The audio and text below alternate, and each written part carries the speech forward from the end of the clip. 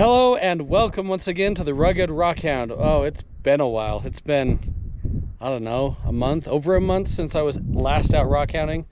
With all the heat, it made it hard to rockhound after work or close here because it's just, it's hot valley here.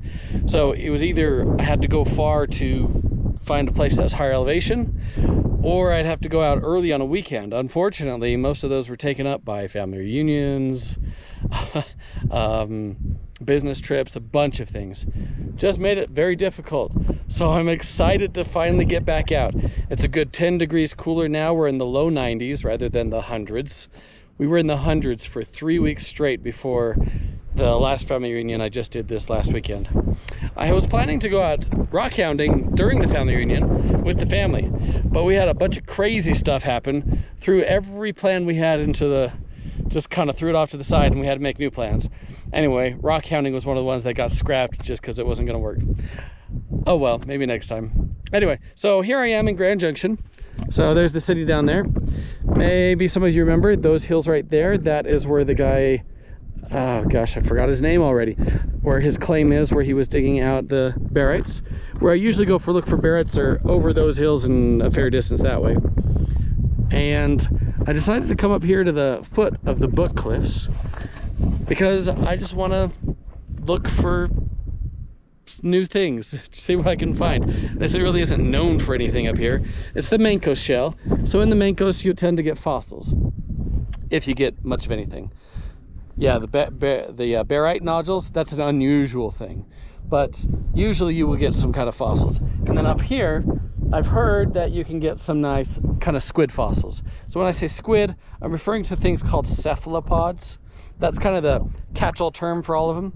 But there's different types. There's ones that are coiled, which people call ammonites. And then there's the long, skinny, straight ones, which people call baculites or belemnites. Or there's there's a different number of terms based on how accurate you can describe that species. Anyway, we'll just say baculite. That's kind of a more catch-all term. So we're gonna look for some baculites up here in there. And like I said, it's, it's kind of a squid fossil, it's a shell. So if you think of a seashell, they're usually coiled, and then you can think of an ammonite. It's coiled, but it's all kind of flat. Imagine that ammonite uncoiled and a long, a long straight cone that is that's what a baculite is so we're gonna see if we can find any and you may hear guns going off every now and then the, shooting range is just over there over on the other side of that mountain basically. Anyway so yeah. Oh and just to update so you know how i had that kind of drama happening with the uh the guy that has the claim now on the on the the limonite pseudomorphs? Finally met up with him we got to talk and we're good friends now. Yeah, I knew as soon as he realized that I wasn't the person that they were claiming me to be, that I was just a, you know, nice person that made an honest mistake. That also was unfortunate because somebody had removed their signs. Anyway, so we're friends now. We may go rock hounding, rock hounding together sometime. I don't know. Depends on when I get back into Utah when it's cooler. anyway, let's get up here and see if we can't find anything. And if I do find something here, here's the GPS coordinates to get here. I really hope there's something here. So I'm just parked up on top of that hill down here in the wash. Always good to start in the wash to get a feel for what you've got. So some things I've seen so far. Lots of sandstone, some shales, and we've got occasionally inside the sandstones some little iron concretions. Uh, the uh, the shale Occasionally looks like it has something that might be a fossil. Nothing like really definitive yet. But yeah, that's what I'm seeing so far. Just typical sedimentary units that I kind of expected. Uh, good. Looks like we got a trace fossil in the sandstone. Probably a burrow, an organism burrowing into the sand. That would have been in the ocean or lake. So my plan is I'm gonna go up this fork of the river and up that way because that looks like it has more stuff coming off the cliff. So if I can kind of explore that area, I might get some more variety. Here we have a little bit of shell. You can see some fossils in it and some trace fossils.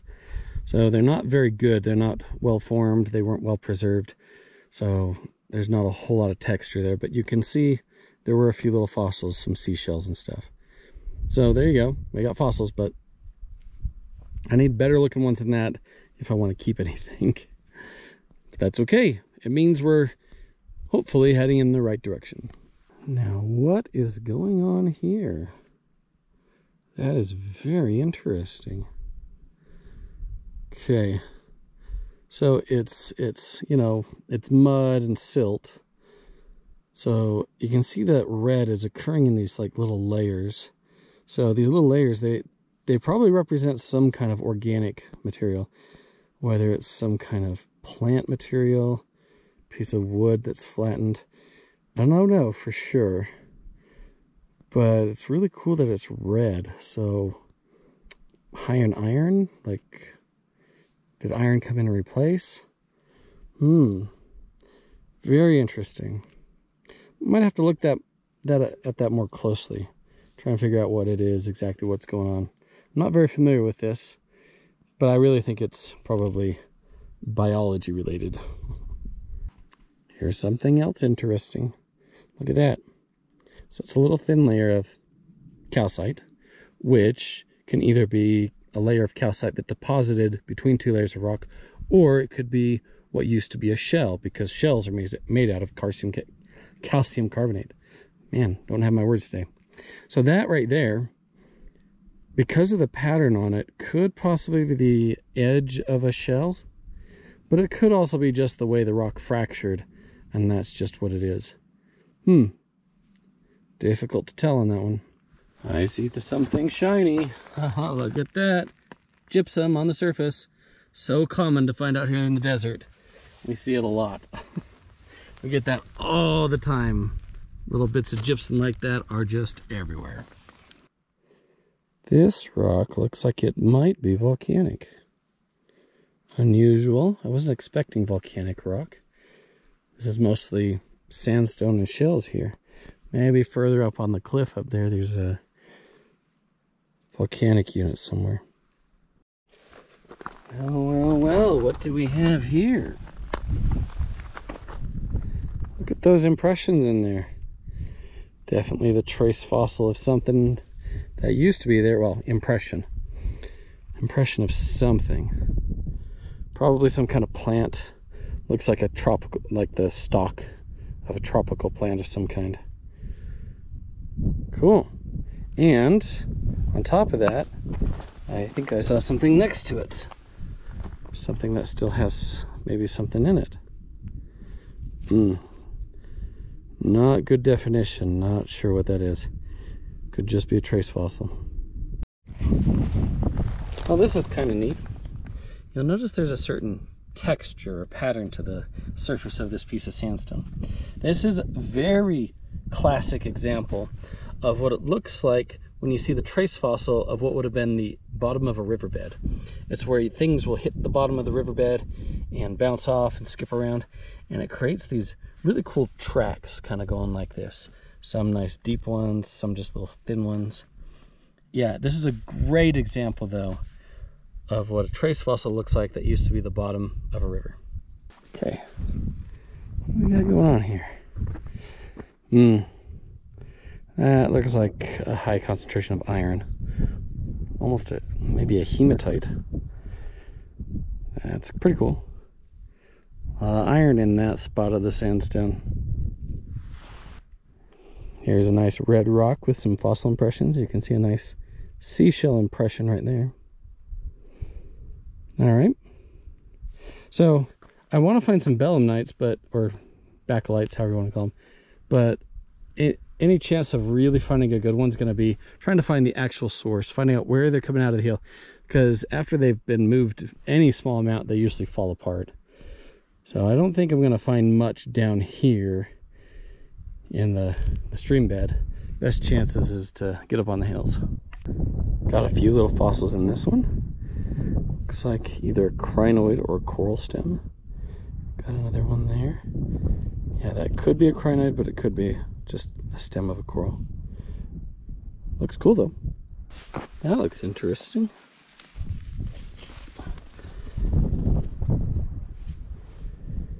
Look at that. Looks kind of a little bit like a septarian, like a squashed one. A little bit of calcite in there. Yeah, why don't we break it open see if there's anything in it?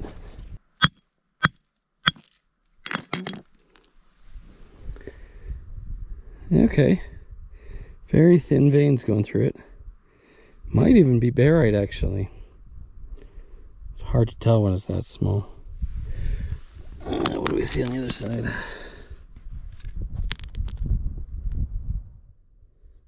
It's probably calcite, just kind of a brown.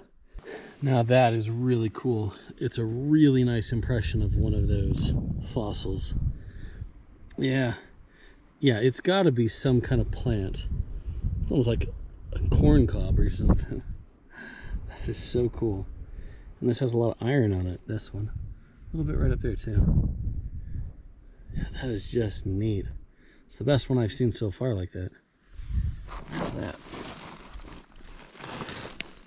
Oh, looks like something right there. Hmm.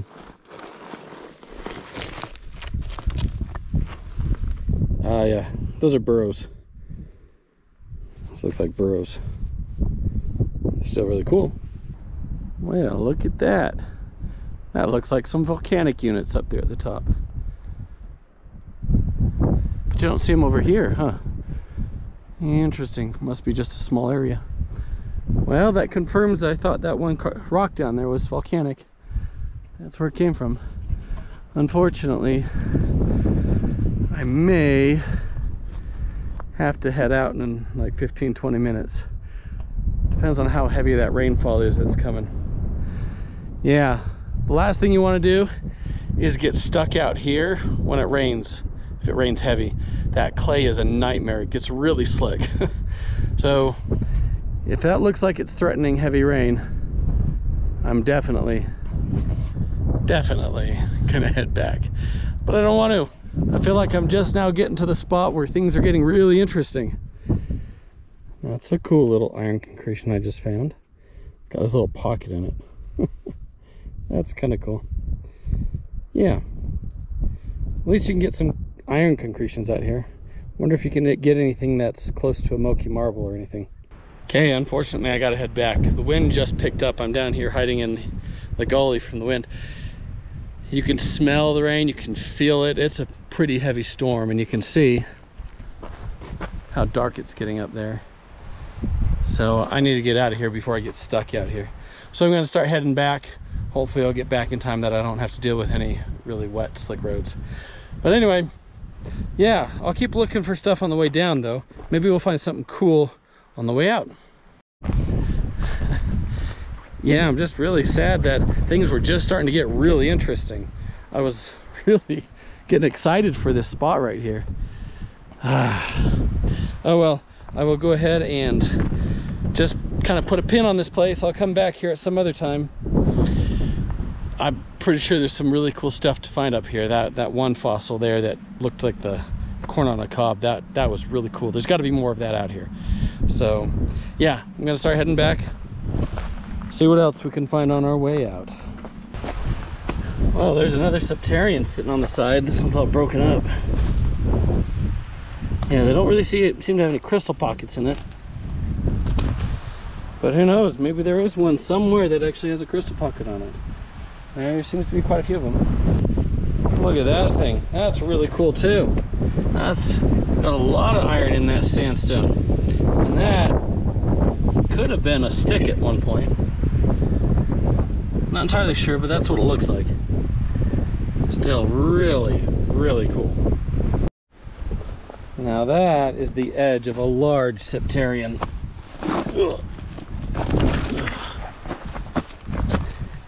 And see calcite all through it. Doesn't look like it has any crystal pockets though. At least not any well defined. And there it is again. Ah. Uh, I just wish it wasn't so big. I'm gonna leave it. As cool as that is and as much as I want to keep that, that rock's just too big for me. I'll have to come back out sometime and maybe find a smaller one. Admit, there's some great landscaping rocks out here. Well, I'm glad I decided to turn back. That's headed straight for me. That is a downpouring rain. You can feel that wind, hear that wind. Yeah, that storm's coming. glad I decided to turn back. Anyway, that's a neat spot up there. I definitely want to go explore some more up there. I think there's some pretty cool stuff. I'll have to come back out again. Well, I hope you enjoyed, even though it was kind of short. The weather cut it short. and I'm just now getting back up to my vehicle. So, until next time, remember, there is treasure everywhere.